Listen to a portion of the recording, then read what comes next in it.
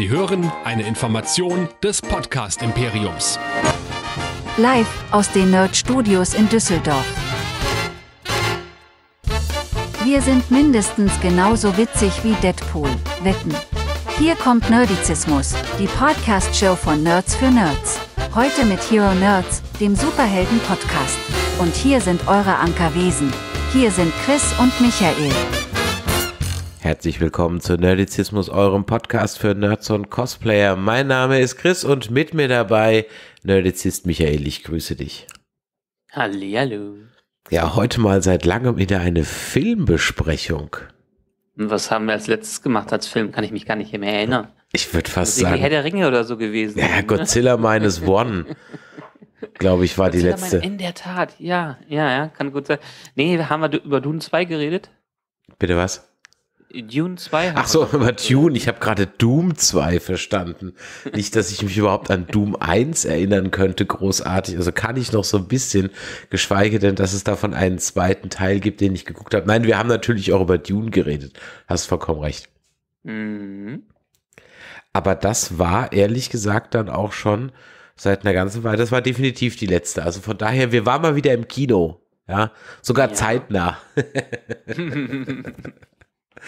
und haben uns Deadpool und Wolverine angeschaut.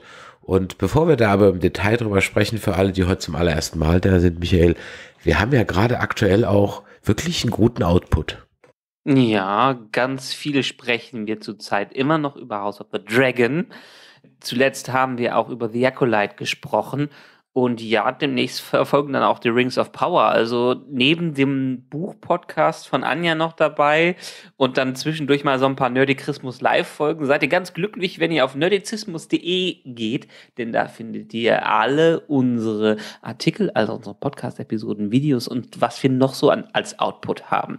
Das Wichtigste ist, ganz, ganz wichtig, dort findet ihr mehrere Knöpfe, unter anderem den Feedback-Button. Und wenn ihr auf diesen Feedback-Button klickt, dann könnt ihr uns entweder eine WhatsApp-Nachricht schicken an die 01525 964 7709. Gerne auch als Sprachnachricht. Geben wir dann mit in die Sendung hier rein. Ihr schreibt eine E-Mail an die info at nerdizismus.de oder diskutiert fleißig mit unter nerdizismus.de slash Discord auf unserem Discord-Server. Und wir freuen uns natürlich auch immer über Bewertungen bei iTunes, bei Spotify und bei Podcast Addict. Und bei iTunes ist mal wieder eine neue reingetrudelt, also eine schriftliche neue. Fünf Sterne. Fünf Sterne.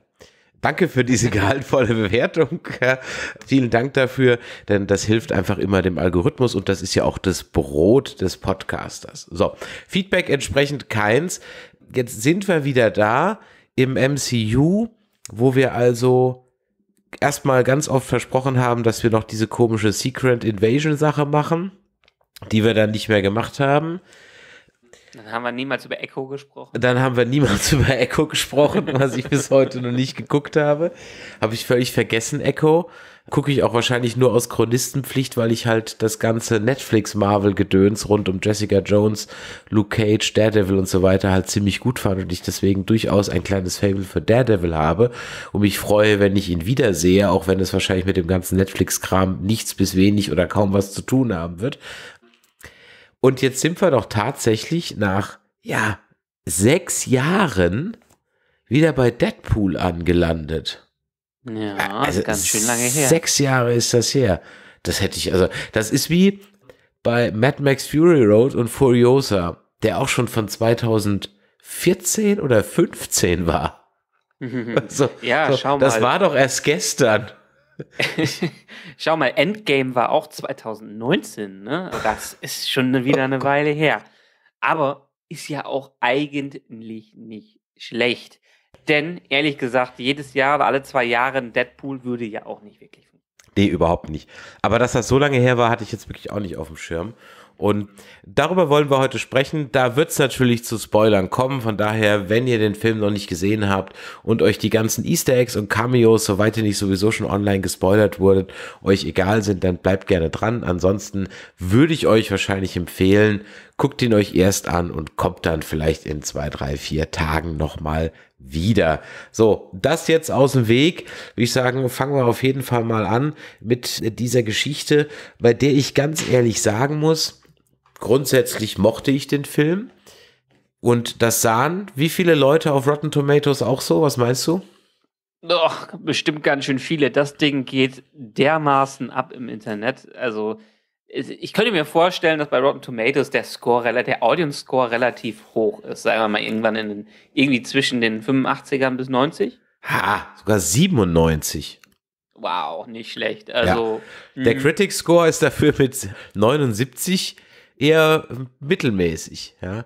Aber ich ja. könnte mir auch vorstellen, dass wenn der Feuilleton, und ich sehe ihn ab und zu bei den Kölner Pressevorführungen, da drin sitzt, der A, naja, aus dem Feuilleton halt schreibt und B, du musst schon für diesen Film schon, muss, da muss man schon Hardcore-MCU-Nist sein, um den wirklich in seiner ganzen Fülle genießen zu können. Ja, beziehungsweise noch nicht mal MCU-Nist. Denn das, was vom MCU da vorkommt, das ist eigentlich die TVA und die TVA, die Time Variance Authority, wird einigermaßen gut erklärt. Man muss eher bewandert sein in 24 Jahren 20th Century Fox Marvel Filmen. Also alles, was bei Blade angefangen hat, über die X-Men-Filme hin bis zu kuriosen Sachen wie Elektra und Co. Also das ist eigentlich der große Abgesang, das große Goodbye auf die ganzen Fox-Produktionen. Ja, und für viele auch ein schönes Farewell. Und Bevor wir nochmal einsteigen, muss ich ja ganz ehrlich sagen, es ist ja noch was, du sagst, der, der Film macht gerade das Internet verrückt. Ja, das Nerd-Internet durchaus, aber etwas anderes hat am Wochenende das Nerd-Internet noch mehr verrückt gemacht und darüber muss ich mit dir einfach vorher noch reden. Robert Downey Jr. Robert Downey Jr. spielt Dr. Doom. Hm. Also, am Wochenende Wie findest war San Diego Comic Con und das ist eigentlich eines der größten Nerd-Ereignisse des Jahres. Und oft gehen entweder Warner, DC oder Marvel dahin und hauen da ihre großen Announcements raus. Diese ganzen Listen, welche Marvel-Filme kommen, die sind immer auf der San Diego, Comic Con präsentiert worden. Und dieses Jahr hat man sich gefragt, was hauen sie denn dieses Jahr raus? Weil eigentlich ist nachdem viel im MCU eher nicht so gut gelaufen ist, ist Zeit für so eine kleine Kurskorrektur. Und sie haben definitiv den wahrscheinlich Google Ranking Award und den Hashtag Award damit bekommen, dass die drei, drei Filme präsentiert haben. Es war, ich glaube, Deadpool vs. Wolverine, Deadpool und Wolverine haben sie nochmal vorgestellt, die Fantastic Four, das Reboot, das MCU-Reboot, was, glaube ich, nächstes Jahr ins Kino kommen wird und dann haben sie über die nächsten zwei Avengers-Filme geredet, die eigentlich, wie wir uns erinnern, an die Leute, die das verfolgt haben, äh, Kang Dynasty und Secret Wars sein sollten, weil die haben ja im letzten, in der letzten Phase des MCUs groß Kang the Conqueror aufgebaut. Problem ist, dass der Schauspieler, auf den sie die ganze Phase gesetzt haben, ein bisschen Mist gebaut hat. Jonathan Majors und dann entsprechend auch letztes Jahr oder so, dieses Anfang dieses Jahres von der Rolle komplett gefeuert wurde, ist nur halt schlecht, wenn du deine ganze Geschichte darauf auslegst. Also kleine Kurskorrektur, Kurskorrektur. Und dann haben sie gesagt, wie denn die Filme heißen werden. Zwei große Ankündigungen in diesen Filmen. Erstmal, das Regisseur Bingo hat aufgehört, das Directors Bingo. Denn nachdem sehr viele Namen damit verbunden worden sind, auch zum Beispiel Sean Levi, der den Deadpool und Wolverine-Film gedreht hat, haben sie doch in der Tat den Coup gelandet und die Rousseau Brothers zurückgebracht, die Civil War und die Avengers-Filme nach Civil War alle gemacht haben. Unter, unter anderem auch Infinity War und Endgame. Und Endgame. Und ja, das ist im Prinzip, die haben vorher gesagt, die wollen es eigentlich nicht wieder machen, die wollen was eigenes machen. Leider sind die Projekte von denen nicht ganz so durchgestartet. Deshalb haben sie sich gedacht, okay, Avengers-Filme können wir, finden sie geil und die sind zurückgekommen. Erste große Ankündigung. Ist schon ein paar Tage vor der San Diego Comic Con geleakt. Und dann kommen sie auf die Bühne raus und sagen den Titel. Der erste Film also der zweite Film wird weiterhin Secret Wars heißen. Der erste Film wird nicht mehr Kang Dynasty, sondern Doomsday, Avengers Doomsday heißen, wird 2026 rauskommen. Victor Van Doom, einer der großen Bösewichte und einer der Lieblinge vieler Comic-Fans, wird darin den Bö Hauptvillen, den neuen Thanos quasi spielen. hatten sie auf der Bühne, kann man sich schön im Video ansehen, ganz viele Leute mit Dr. Doom-Masken aufgestellt. Haben wir gesagt, es gibt nur einen Schauspieler, den wir dafür einsetzen konnten. Gehen zur Seite, es tritt, tritt ein Dr. Doom in grün hervor, nimmt die Maske ab und wer ist darunter? Robert Downey Jr., Tony Stark himself. Tja, der sich auch präsentiert in einer Pose, als wäre er Tony Stark. Ja, auch mit der schönen Brille, ne? Ja, also. Es macht Sinn. Es macht Da bin Sinn. ich, dann erklär's mir. Erklär's mir. Ja. Warum macht es Sinn? Also abgesehen, dass Okay. jetzt hier auch No One Ever Really Gone ist und natürlich mit dem Multiverse, das sie ja beibehalten, habe ich natürlich sämtliche Optionen mit allem, was ich machen kann. Ne? Ich kann ja einfach alles jetzt behaupten und jeden wieder zurückbringen. Okay, so weit, so gut. Trotzdem, Genau. erklär's mir. Warum macht Ja, das Sinn? Also Tony Stark war quasi derjenige, der das MCU, aufgebaut hat. Die ganzen Marvel-Filme, die Avengers, Avengers-Team ab. Also die Leuchtfigur, eigentlich mit Deadpool und Wolverine zu sagen, der Kerncharakter, der, wie sie es, wie sie es auch immer in dem Film nochmal genannt haben, der Focus Point-Charakter, das war Tony Stark in diesem ganzen Universum. Und danach ging es nicht mehr gut weiter. Wir hatten das Multiversum und es lief nicht mehr. Also er war das Shining, Shining Example, das leuchtende Beispiel für dieses Universum. Und wenn man jetzt schon Kang nicht mehr hat, wer kann dieses Universums ins Chaos stürzen? Eigentlich genau das Gegenteil von Tony Stark. Einer, der nicht den Weg der Besserung in den ganzen Filmen durchlebt hat, sondern in irgendeinem Zeitpunkt seiner Story so vom Leben und von der Welt enttäuscht war, dass er genau das Gegenteil, und zwar die Uni Zerstörung des Universums anstrebt. Wir erinnern uns so in Age of Ultron und Co. hat Tony ja auch immer so mit dieser dunklen Seite geliebschaftet. Ich möchte einen, ich möchte Armor um die Welt machen. Ich möchte die Welt eingrenzen mit einem Schutzschild und sie dadurch schützen. Und das macht durchaus Sinn, dass dann derjenige, der das Marvel-Universum gerettet hat, auch dann eine Variante von ihm diejenige sein wird, die das Ganze wieder ins Chaos stürzen wird. Also du gehst davon aus, dass es auch ein Tony Stark ist, halt von Erde 378.000, der einfach im Grunde genommen an irgendeiner Stelle falsch abgebogen ist und statt Iron Man als Dr. Doom wieder rauskam. Genau, weil wir sind in einer ganz anderen Zeit als um 2010, 2012 rum, als die Avengers rausgekommen sind und man viele Filme Zeit hatte, um einen Thanos aufzubauen. Wir erinnern uns, die ganze Phase 1, 2 und 3 hat eigentlich da gebraucht, um Thanos als den Big Bad des Ganzen auch aufzubauen. Etliche Filme, ich glaube, wir waren allein schon 18 Filme durch, bis dann der große Bösewicht überhaupt in Aktion getreten ist. Diese Zeit hat man jetzt nicht mehr, beziehungsweise diese Zeit hat man sich dadurch ein bisschen verbockt, dass das mit Jonathan Majors nicht gut gegangen ist und dass man ehrlich gesagt das Marvel-Universum unglaublich verwässert hat. Durch alles, was in den Jahren pa passiert ist. Es sind nicht mehr nur noch ein paar Filme rausgekommen, es sind etliche, gefühlt tausende Serien und kein Schwein guckt dem mehr nach. So Endgame war der natürliche Endpunkt für viele, nicht mehr weiter zu gucken, weil es einfach zu komplex geworden ist, wie auch in den Comics, um dem Ganzen zu folgen. Und ja, da man jetzt keine Zeit mehr hat bis zu den nächsten Avengers-Filmen und 2026 ja auch schon sieben Jahre seit Endgame, seit dem letzten Avengers-Film vergangen sind, macht man einfach das, was in der Progression des MCUs durchaus sinnvoll ist. Man hat keine Zeit, einen Victor von Doom von Anfang an aufzubauen, ihn in den Fantastischen Vier einzuführen und ihn dann langsam als Bedrohung mit reinzubringen. Nee, man hat die Bedrohung des Multiversums und wir haben jetzt diverse Variants gesehen.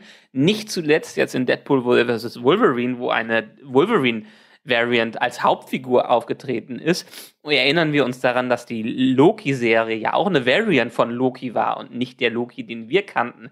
Also wir sind mit dem Konzept zumindest vertraut, dass es Variants gibt. Und klar, also ganz klar sind da auch noch wirtschaftliche Faktoren. So ein, so ein Robert Downey Jr., den kennt jeder. Und dann will am Ende jeder wissen, wie fucking Robert Downey Jr. ins MCU zurückkommt. Naja, das heißt also, du glaubst, dass die Origin Story von Victor von Doom, also der da so ein Herrscher in so einem Balkanstaat ist und so weiter, die lassen sie also außen vor. Oder glaubst du, Ja, das sie werden sie anpassen.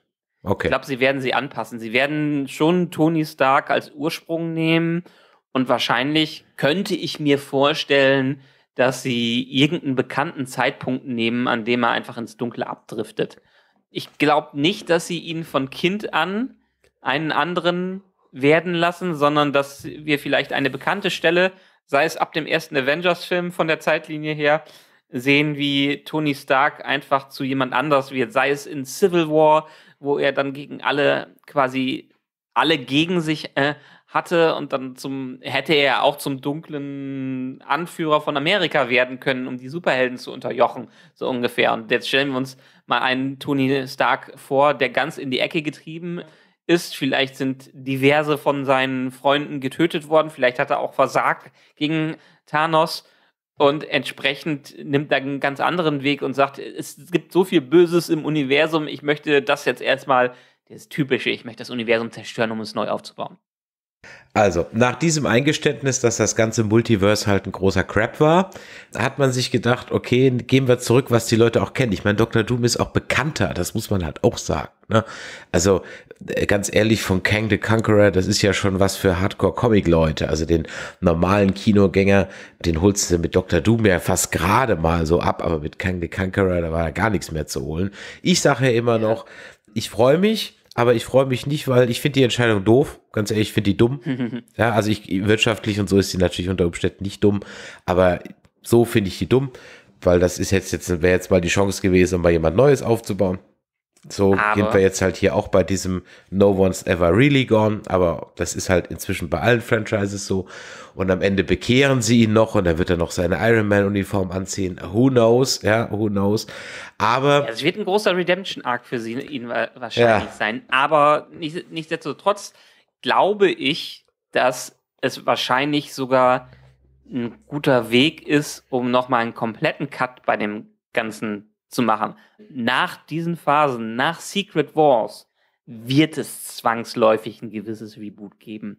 Wird es, also auch in den Comics nach den Secret Wa- Wars ist, glaube ich, da nebenbei das Ultimate-Universum entstanden, wo zum Beispiel Miles Morales Spider-Man war und nicht mehr Peter Parker und solche Sachen.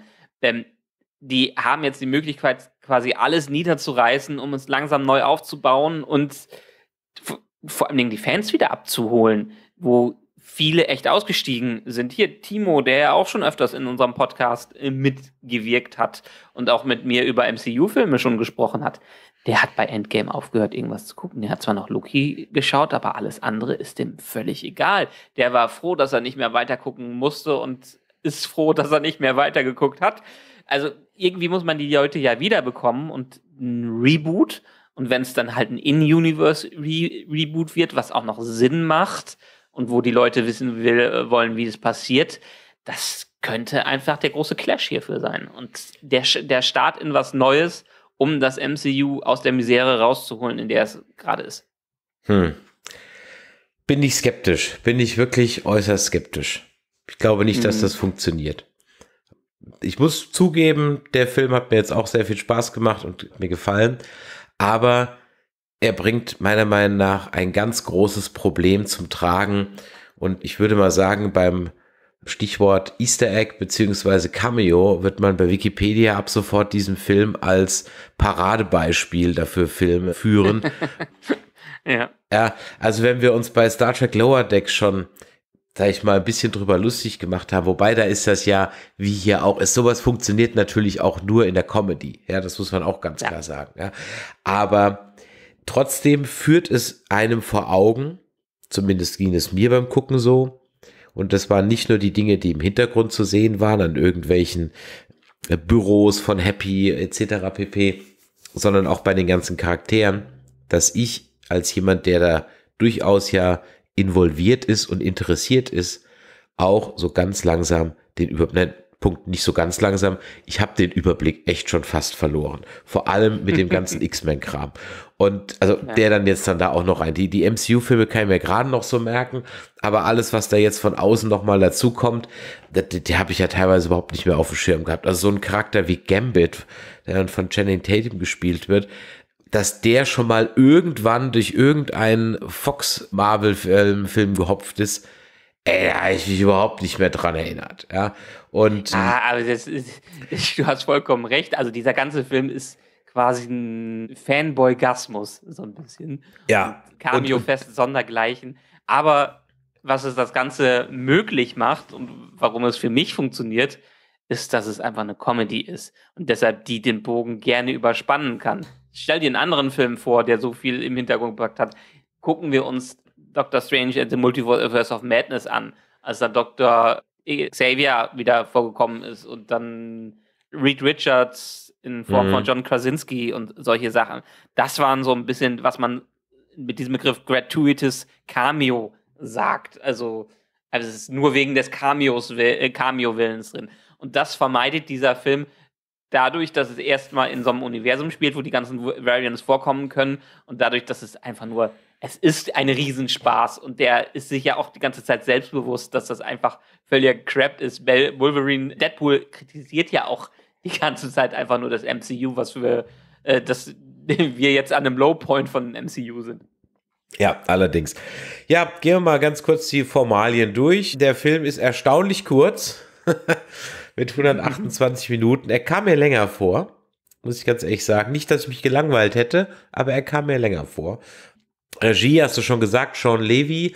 Äh, der ist im Superhelden-Genre ja, also jetzt im MCU neu, da hat er vorher ehrlich gesagt noch nichts gemacht. Er hat allerdings äh, maßgeblich Regie geführt bei Stranger Things. Er hat auch schon bei Free Guy mitgemacht, da hat er auch schon mit Ryan Reynolds zusammengearbeitet. Übrigens ein Film, der durchaus lustig war.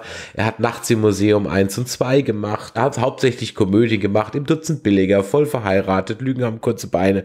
Also ganz viele Romcoms, die er sowohl produziert als auch Regie geführt hat. Dann haben wir die Musik von Rob Simonson.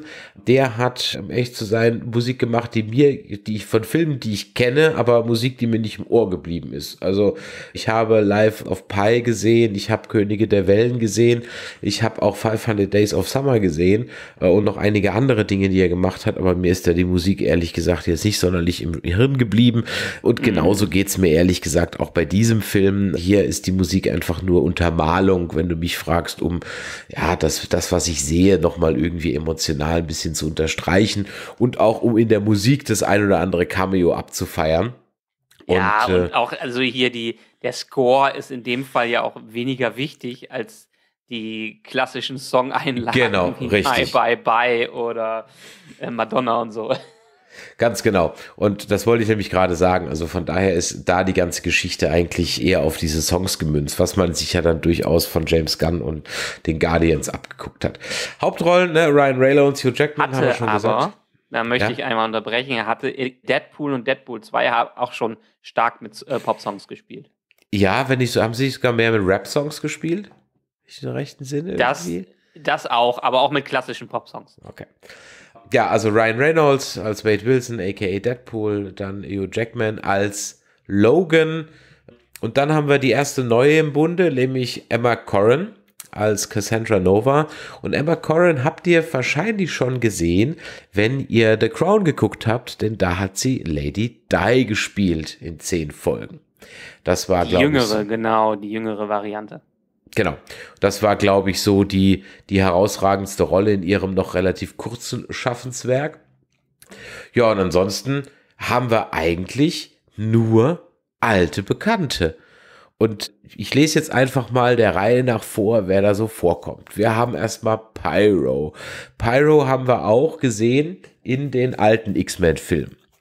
Muss ich ganz ehrlich gestehen, war auch einer von diesen Charaktern, das habe ich erst gecheckt, als er dann sozusagen die Flamme von Chris Evans dann mehr oder weniger erstickt, weil er selber halt ein Feuertyp ist.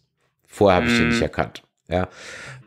Dann haben wir, gut, Morena Baccarin ist wieder dabei, die ja die Freundin von Wade Wilson spielt. Da habe ich noch so gedacht, hm, hat die eigentlich in letzter Zeit schon mal irgendwie wieder ein paar Sachen gemacht? Und da muss ich ganz ehrlich sagen, irgendwie ist sie mir seit Deadpool, was so die Filme und Serien angeht, gar nicht mehr. Also vorher habe ich sie öfter mal gesehen, ja, in mhm. Homeland hat sie ja mitgespielt und dann hatte sie ja in diesem unsäglichen Reboot von V die Besucher eine, eine tragende Rolle und dann ist sie hier und da mal so durch so die eine oder andere Serie gehüpft. Ich glaube, bei SG1 war sie auch mal dabei, kurze Zeit. Bei Firefly natürlich sowieso unvergessen. Dann, ehrlich gesagt, die letzten Filme, die da so draufstehen, Home Invasion, Fernsehserie, The Endgame, Fernsehserie, zehn Folgen, Fast Charlie, sagt mir alles gar nichts. Aber okay. Ja, man hat sie mal zwischendurch mitbekommen, war zum Beispiel bei Flash hat sie eine Gastrolle dabei und dann auch noch bei, bei anderen Dingen. Also sie ist, äh, Gotham war sie ganz stark vertreten, aber Gotham ist ja auch schon wieder ein paar Jahre vorbei. Also sie ist nicht ganz untätig gewesen, aber sie war auch schon mal mehr im Vordergrund. Definitiv, war auf jeden Fall schon präsenter. So, dann haben wir natürlich alle von den äh, ja, Partnern von Deadpool, Negasonic ist wieder dabei, Colossus ist wieder dabei, Blind Ale ist wieder dabei und so weiter. Die kennen wir ja alle schon. Aber der erste Cameo, was dann sozusagen war, war dann halt Happy, als er nämlich dann der Deadpool ja auf die, auf die richtige, also auf unsere Erde sozusagen kommt, wenn ich das richtig in Erinnerung habe. Ne? Also das war ja dann die, die Erde 616, also die wahre Zeitlinie. Ist das eigentlich unsere Erde, die wahre Zeitlinie? Ja, also ich würde es vermuten in der Richtung, weil gerade zu Anfang von Iron Man hat man ja ganz stark auf die Parallelen zur jetzigen Realität aufgesetzt. Ob es dem am Ende so ist, wir sind wahrscheinlich auch nur eine Variant von irgendeiner Welt, wo keine Superhelden vorkommen. Ja. Und, Aber das äh, Wichtige an dem, an dem Cameo von Happy ist ja das, dass John Favreau erstens weiterhin Happy Hogan spielt, aber John Favreau ja auch das MCU begründet hat, weil er der Regisseur vom ersten Iron Man war und vom zweiten Iron Man und auch sehr viel weiteren Einfluss auf das MCU hatte. Jetzt ist er eher bei Star Wars unterwegs, aber früher Marvel. Mhm. Also ich meine, ich bin jetzt so gegen Ende seines Övres hin nicht ganz immer mit ihm einverstanden gewesen. Trotzdem muss ich sagen, das ist schon ein cooler Job, den der hat. Also, so mal so grundsätzlich. Ne? es ist, ist schon ein cooler Job. Also, maßgeblich bei Star Wars und bei MCU mitzumachen, fehlt eigentlich nur, dass er vielleicht jetzt auch mal was bei Star Trek macht. Schlimmer kann es ja nicht mehr werden.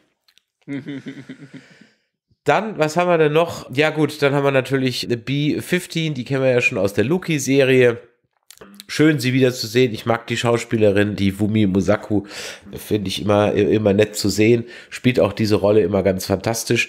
Und ich frage mich aber ehrlich gesagt so ein bisschen, ist die TVA gut erklärt worden, wenn du Loki nicht gesehen hast? Ich glaube, sie ist genug erklärt worden. Hm.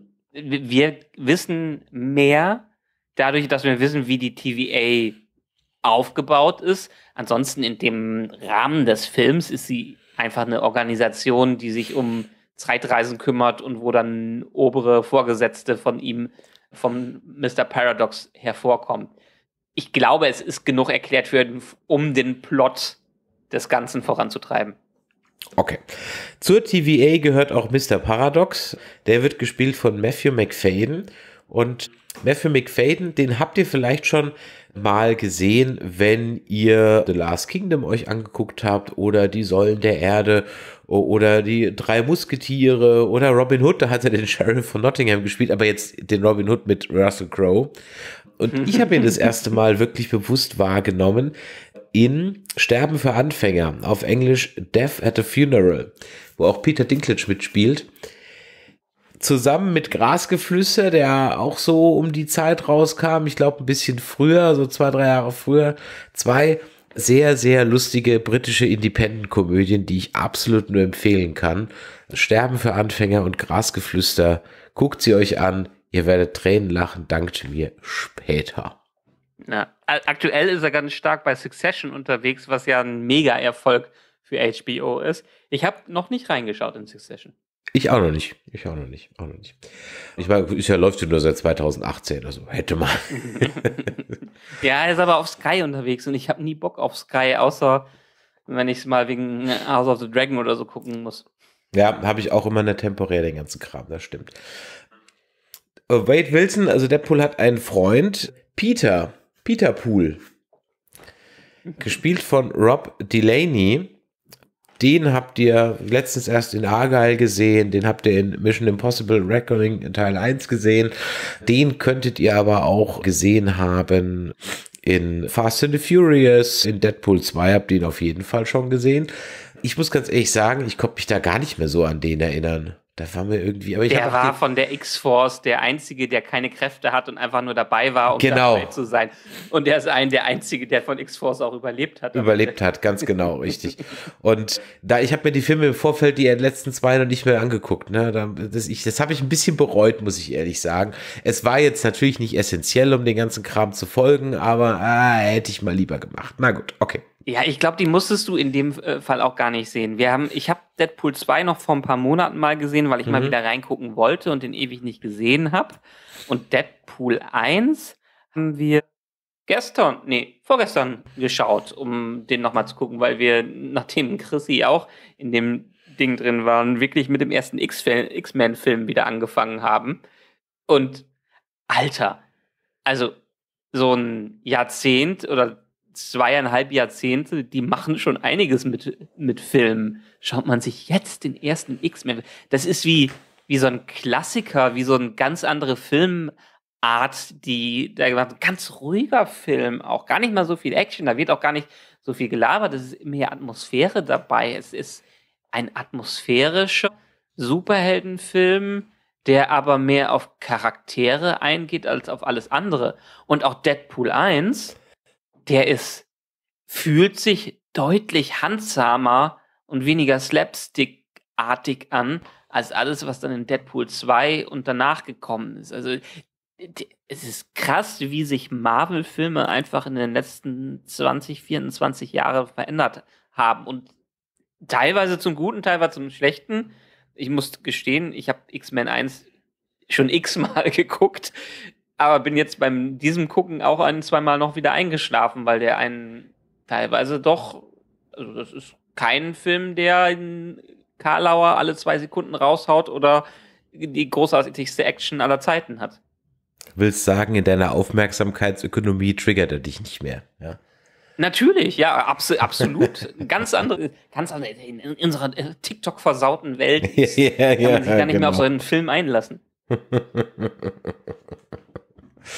Ich kann äh. empfehlen, die nochmal anzuschauen. Da merkt man einfach, wie anders früher Superheldenfilme waren. Und X-Men 1, ich meine, Brian Singer, der jetzt auch durch diverse Skandale nicht mehr Hollywood gesegnet ist und beziehungsweise Hollywood den Rücken, ihm den Rücken gekehrt hat, der hat die X-Men-Filme auch damals so gedreht, dass er auf fast alle Comic-Verweise verzichtet hat. Der hat ja, glaube ich, sogar Comics am Set verboten und über, über die Comicfiguren dazu sprechen, dass möglichst wenige Einflüsse von denen reinkommen.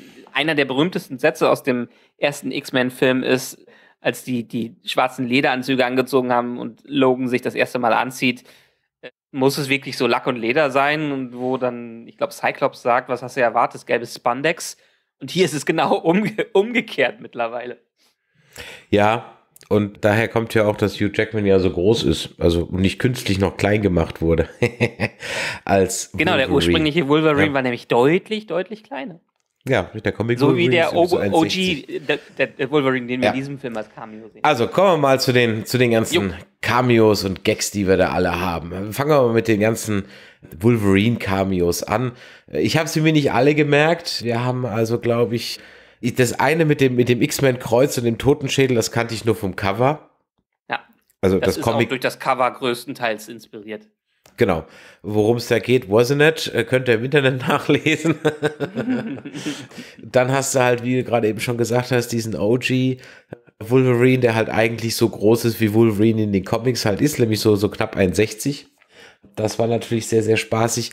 Den Henry Cavill-Gag habe ich nicht ganz gecheckt. War der mal als Wolverine im Gespräch oder war es einfach nur, weil Henry Cavill einfach am Nachbarset rumgelungert hat und nichts zu tun hatte? es ist so ein bisschen Fancasting. Viele Leute haben sich ganz lange Henry Cavill gewünscht. Und natürlich, nachdem er nicht mehr Superman spielen darf, ist das ein kleiner Wink äh, aufs DC-Universum gleichzeitig. Aber ja, nee, Henry Cavill Genauso wie Channing Tatum ist eins dieser Fancastings, die nie stattgefunden haben, beziehungsweise Channing Tatum als Gambit. Du hast ja eben nochmal gesagt, Gambit, du kannst dich nicht mehr genau an Gambit erinnern. in dem unsäglichen Wolverine Origins Film ist eine Alternative von Gambit vorgekommen, der mit seinen Spielkarten herumgespielt hat. Gambit ist aber besonders auch durch die ähm, X-Men 97er Serie, die aus den 97er waren, wo es jetzt ein Disney-Sequel gab, ist Gambit einer der Lieblinge von vielen, die die X-Men mögen, weil das wohl einer der coolsten Mutanten überhaupt ist. Und nach äh, Wolverine Origins wollte Channing Tatum, hat er sich bemüht, lange, lange, lange Jahre Gambit-Film auf die Beine zu stellen. Die haben etliche Skripte, glaube ich. Sie haben immer versucht, wieder neu anzugehen und die haben, sind nie aus dieser Pro Production-Hölle rausgekommen. Deshalb ist Channing Tatum hier als Gambit aufgetreten. Und hast du, als du mir geschrieben hast, da kommt so ein Cameo, da komme ich nie drauf, hast du mir, hast du damit dann äh, Blade gemeint? Na, also ich meinte, ich wollte es natürlich nicht zu offensichtlich machen. Ich ja. meinte Chris Evans. für, mich, für mich das großartigste kam überhaupt. Ich war mittwochs drin. Eine der ersten Vorstellungen. Und natürlich irgendwie nur Fanboys da drin im Original. Als dann die Szene kam, wo er aufgetreten ist und selbst Deadpool so ausgerüstet ist, oh, Captain, my Captain und so weiter, als er den, seinen Mantel da weggemacht hat, hat das ganze Kino gejubelt und, und yeah als er dann am Ende Flame On gesagt hat und es klar war, dass er nicht Cap war, sondern Johnny Storm, haben alle nur noch gegrölt und sich. Äh, also es war die beste Trollaktion in einem Cameo ever. Ja, das stimmt allerdings. Da hast du vollkommen recht. Deswegen habe ich das erst mit dem Pyro erst gecheckt, als sie dann so gegenseitig ihre Kräfte aufgehoben haben. Vorher habe ich das, habe ich den gar nicht erkannt. Ja. Auch die Sabertooth-Nummer, die habe ich mir dann so, war der schon mal, stimmt, der war ja schon mal, ach, irgend, ach Gott, in irgendeinem, wahrscheinlich war das dieser, äh, der unsägliche X-Men-Teil mit dem unsäglichen Deadpool drin, ich weiß nicht mehr ganz nicht genau. Ganz, nicht, nicht ganz, ganz. Im ersten X-Men kommt dieser Sabertooth vor. Ah, okay. Und da wurde auch nie gesagt, dass Sabertooth der Bruder von Wolverine ist. Der Sabertooth, der nämlich in Wolverine von Leaf Schreiber ja. gespielt wurde, der ist der andere Sabertooth, weswegen der recastet wurde und der erste Sabertooth ist deshalb als Cameo nochmal vorgekommen. Ah, okay, ich verstehe. Ja, aber die eigentlichen Hauptcameos sind natürlich neben ganz vielen kleinen, die dann da nochmal so durch die Gegend hüpfen, weil sie in irgendwelchen X-Men-Filmen mal die Bösewichten hinten links waren, sind natürlich so die, die verschmähten Superheldenfilme der äh, Ende 90er, frühen 2000er und allen voran natürlich Jennifer Garner als Elektra mhm. die das Pech hatte, also andersrum, die erst das Glück hatte, ein Spin-off aus diesem unsäglichen Daredevil-Film äh, zu bekommen, um dann eigentlich einen noch schlechteren Film mit Elektra hinzulegen. ja. Und an ihr, an ihr lag es nicht. Auch, ja. An ihr, lag, an ihr lag es nicht, aber mich wundert auch, dass wir, wir nicht den Original Daredevil hier bekommen haben. Ist, ist okay, das ist, sie ist einer derjenigen vergessenen Misfits, in dieser ganzen Reihe, die da mit reingebracht worden sind. Ähnlich wie Gambit ist es bei Elektra eher, dass alle den Film kacke fanden und sie deshalb hier nochmal einen schönen Abschluss be äh, bekommt, der, den sie verdient hat. Ja. Fall. Auf jeden Fall. Das fand ich dann aus der Warte auch ganz schön. Ja, und dann haben wir den gerade eben schon angesprochenen Blade, Wesley Snipes ist auch wieder da. Die ersten zwei Blade-Filme mochte ich ja durchaus. Der dritte, äh, not so much. Und dann habe ich mir gedacht, ach, guck mal, das ist ja witzig. Und er hat ein bisschen abgenommen, glaube ich. Ein bisschen dünn geworden mhm. um die mhm. Hüften. Aber er kann es ja immer noch so, äh, die coolen One-Liner, die genau für ihn gemacht sind, das passt ja alles noch. Aber habe ich mir so gedacht, hm, wollen die nicht einen neuen Blade machen? Und ist das dann nicht ja. am Ende so ein bisschen so, also wäre ich der Schauspieler von dem neuen Blade, wobei ich nicht weiß, ob es schon einen gibt, aber wenn es schon einen gibt, ja. wäre ich jetzt ein bisschen angepisst. Weil also. Jetzt ist der, der alte Blade nochmal ins kollektive Gedächtnis reingekommen, den eigentlich schon alle vergessen hatten.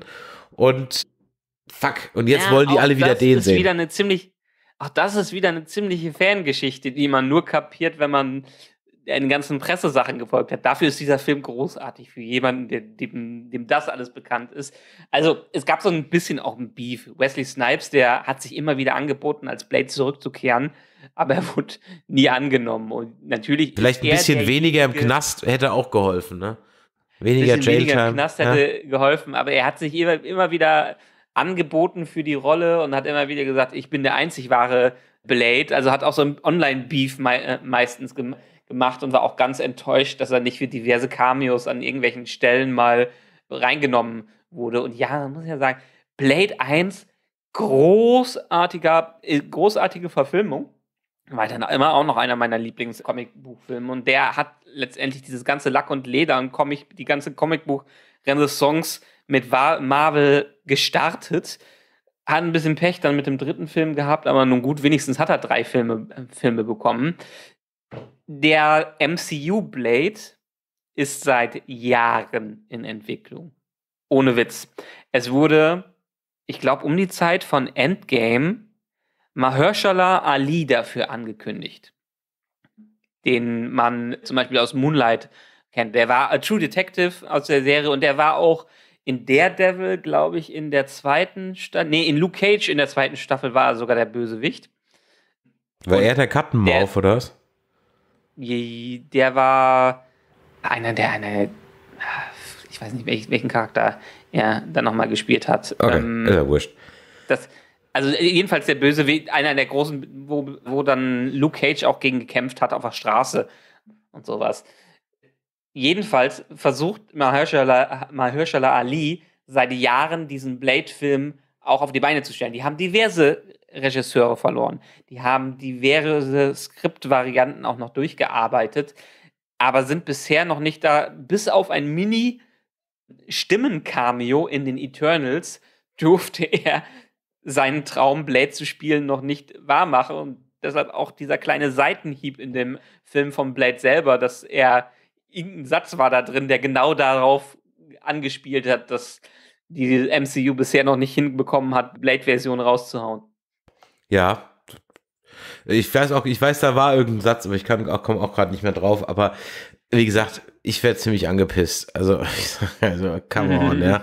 Ja, weil jetzt will natürlich irgendwie so gefühlt wieder jeder Wesley Snipes zurück. Aber gut, äh, ich jetzt braucht den jetzt nicht unbedingt, aber ich würde mich natürlich durchaus über ein Blade freuen. Der ist mit 60. Ja, ja. Der, der, ist ja auch schon über 60. Ja, das sagst du, ne? Until ja. 90. Ja. Ja, until 90. ja, Harrison Ford ist ja auch jetzt ins MCU ja, dazu. Exakt, an den musste ich nämlich die ganze Zeit denken, ja, als er das, als er das jedes Mal betont hat. Ja, und was ich natürlich wirklich sehr nett fand, da habe ich dann an der Stelle überhaupt nicht mit gerechnet, ist natürlich, dass sie dann X23 wieder zurückholen. Daphne Keen, wir haben sie mhm. gerade erst in Echolite gesehen und äh, schwupps sie wieder hier durch die Gegend. Da habe ich gar nicht mit gerechnet. Ja. Das war nett. Unglaublich die Schauspielerin ist erst 19 und hat schon so viele Franchises auf der Kerbe. His Dark Materials hat sie ja auch die Lyra gespielt. Die ganze Serie hat sie, sie getragen am Ende. Und krass, was man mit 19 Jahren schon erreichen kann. Tja, guck dich mal im Spiegel an, ne? Da siehst du nicht viel davon. Nein. Ich habe doppelt so lange gebraucht und habe ja, um alles und alles, was du hast, erreicht. seinen lausigen Nerd-Podcast ja, für mittelalte weiße Männer, ja, die sich über Dinge aufregen. Toll, ja, danke Leben. Le leider wurde ja X23 schon gespoilert durch den letzten Trailer. Ich habe ihn nicht gesehen. Ah, den hatte ich, ich gar nicht gesehen, deswegen wusste ich es nicht. Ah, okay. Aber jetzt ja, habe ich jetzt nicht absichtlich ja nicht gesehen, aber den habe ich einfach nur verpennt. Ich, ich vermeide ja jegliche Trailer noch zu gucken. Äh, habe ich ja schon öfters gesagt. Ich gucke mir nur noch die Teaser an und das war's. Leider kann ich es nicht vermeiden, wenn irgendwie so ein Scheiß wie IGN oder Comicbook.com in ihrem Feed irgendwelche Spoiler mit reinpacken. Und da war dann auch X23 als Spoiler mit, äh, mit drin, was ich sehr enttäuschend fand, weil ich hätte mich gerne nicht, nicht gerne spoilern lassen. Allerdings wurde der Spoiler auch durch sie selber initiiert. Warum? Sie wollte unbedingt bei der Premiere dabei sein und hat, hat nämlich den Regisseur und Ryan Reynolds gefragt, und ach, ich möchte bei der Premiere dabei sein, aber dadurch spoilere ich alles. Können wir nicht irgendwas machen? Und dann haben sie gesagt, okay, wir rufen einmal Disney an, packen dich in den finalen Trailer mit rein und dann darfst du bei der Premiere dabei sein. Ja, okay. Das Witzige ist ja, also abgesehen davon, dass der Film sehr lustig ist, wenn man auf diese Art von Humor steht, das muss man, glaube ich, auch dazu ja. sagen. Ich kann auch verstehen, wenn man sagt, ist nicht mein Humor. Und natürlich ist das halt Meta auf Meta auf Meta auf Meta Humor. Ja, also d- wenn du da nicht wirklich schon einen hohen Nerd-Faktor hast, dann checkst du die Hälfte der Gags ja gar nicht. Ja, allein diese ganzen Geschichten rund um den Verkauf von Disney an, äh, von Fox an Disney und so weiter und so weiter. Ich meine, was da auch alles im Void, im Sand rumlag, ne, der alte Helm von, von, vom Flash, nee, nicht vom Flash, glaub ich, nicht von Flash. Ant-Man. Nee, von, ja, das ja auch, aber der, der, wer hatte, wer hatte beim, in in Marvel den geflügelten Helm auf? Ach, Thor, genau. Ein alter Helm Thor. vom Thor lag rum. Dann war ja, hast du hinten rum diesen, diesen einen fliegenden Flugzeugträger da gesehen, diese, diese Dinger aus Avengers und so weiter. Also allein was da im Sand rumliegt und bei Happy im, im Büro rumstand und so weiter und so weiter und so weiter, rechtfertigt den Film ja im Grunde genommen fünfmal zu gucken. Was ich nicht machen werde, weil so piech ich da jetzt ehrlich gesagt dann auch nicht erpicht drauf, den ganzen Kram jetzt nochmal zu sehen. Trotzdem hat er mir auf jeden Fall Spaß gemacht, aber ich habe irgendwie so ein bisschen das Gefühl, ja, wie ich es eingangs sagte, der Film leidet darunter, dass er eigentlich, ja, wenn du halt nicht dieses ganze Wissen mitbringst, dann ist er, glaube ich, nur halb so lustig. Dann Ja. funktioniert auch, dann kann es auch sogar sein, dass dann vielleicht so die, die, die Gornes überhand nimmt, weil du halt nicht abgelenkt wirst von den Gags in der Gornes, weil du sie nicht verstehst irgendwie. Und dann kann ich schon verstehen, dass man sagt, damit kann ich nichts anfangen. Ja. Und Ja, würde ich auch jedem sagen, ja, kann ich auch gut verstehen. ja, selbst im Hintergrund sind da ja Cameos, wo sich dann nur Fanboys drüber freuen. Absolut. Headpool, der fliegende Schädel von Nathan Fillion, damit irgendwie seine dritte oder vierte Rolle im MCU, durch Sprechrolle meistens new. Cowboy Pool, wurde von Matthew McConaughey gesprochen. Und Lady Deadpool von Blake Lively, der Frau von Ra Ryan Reynolds. Und solche Sachen kommen da drin vor. Also das ist, das ist ein Cameo-Fest sonder, sondergleichen und es wird, es wird Fanwissen belohnt. Und es wird, also es wird Fanwissen enorm belohnt. Und das macht einfach riesig viel Spaß an diesem Film. Ich bin auch mit leicht säuerlichen Geschmack da rausgekommen und habe mich gefragt, hat das jetzt als Film funktioniert?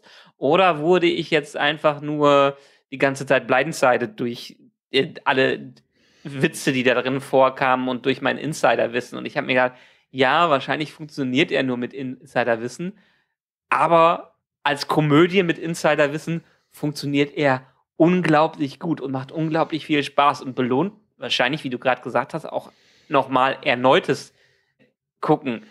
Und ich werde ihn zwar auch nicht nochmal im Kino gucken, aber am Ende habe ich mir gesagt, okay, es ist eine Komödie. Sie will eigentlich gar nichts weiter erreichen.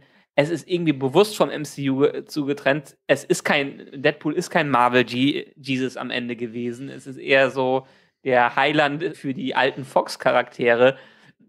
Und das ist okay. Nachdem ich das akzeptiert habe, könnte ich diesem Film eine 9 bis 10 von 10 Punkten geben, weil er einfach im Kino tierisch viel Spaß macht.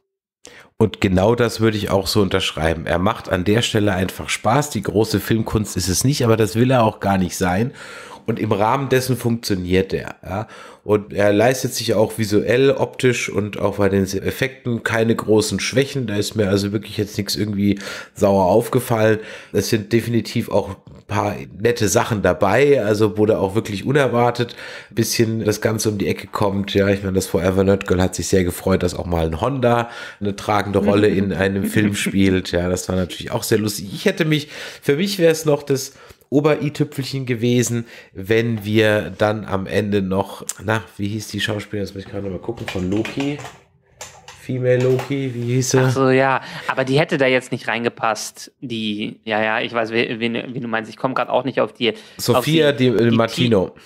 Ja, die hätte da nicht reingepasst. Das war nicht ihr Film. Die TVA war ein, war ein Vehikel fürs Plot-Erzählen. Mhm. Man hat ein kleines Cameo von der P15 bekommen, aber das mehr musste, musste auch nicht sein. Selbst der Mr. Paradox, der muss einem als TVA-Gucker nichts sagen. Also es wäre, es ist, es war okay, hätte man Loki vorher gesehen, aber es ist nicht zwingend notwendig gewesen. Es ist viel notwendiger gewesen, alles Alte zu kennen, als alles Neue zu kennen. Ja, das stimmt allerdings. Ja, also von daher, ich fand den nett.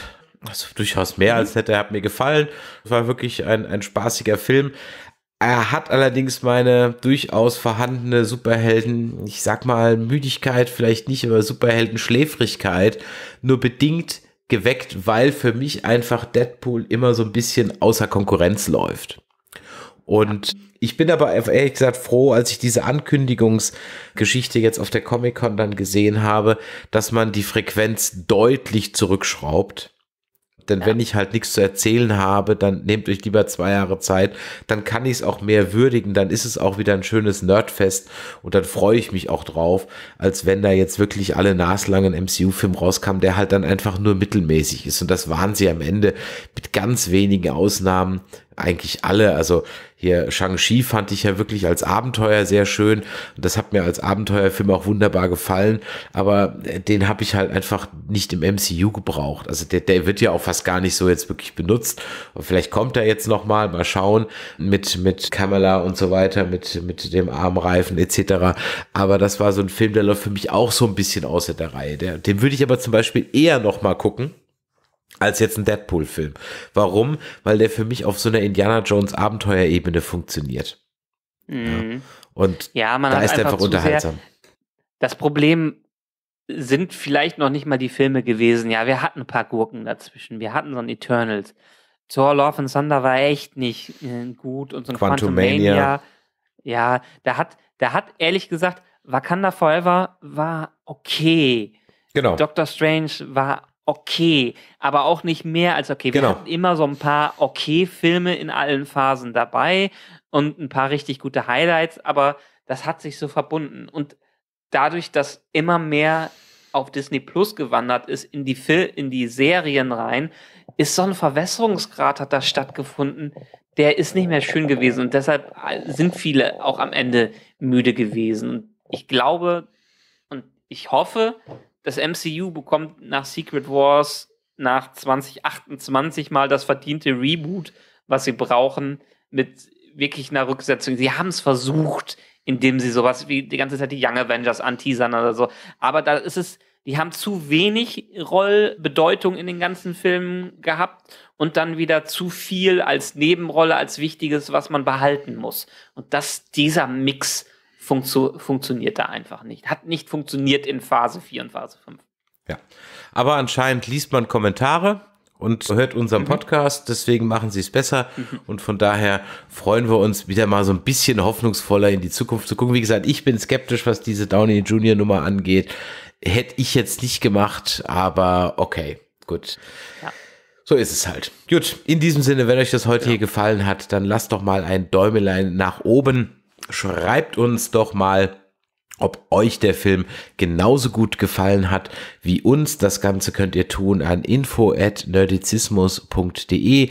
Ihr könnt auf unseren Discord gehen, nerdizismus.de slash Discord. Ihr könnt mal ein T-Shirt kaufen bei nerdizismus.de slash Shop oder ihr schreibt uns zum Beispiel eine WhatsApp. Das könnt ihr machen an die 01525 964 7709. WhatsApp oder Sprachnachricht kommt beides an.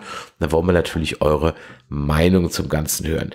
Hier bei uns geht es jetzt demnächst weiter mit House of the Dragon oder je nachdem, wann ihr das gehört habt, geht es dann vielleicht auch weiter mit Rings of Power oder mit, ja, ach, geht doch mal zurück und hört euch die letzte Folge zu The Acolyte an. Bei Star Trek geht es weiter, also von daher, hier wird es äh, nicht langweilig werden. Und in diesem Sinne macht Idiot. Bis die Tage. Tschüss. Ciao.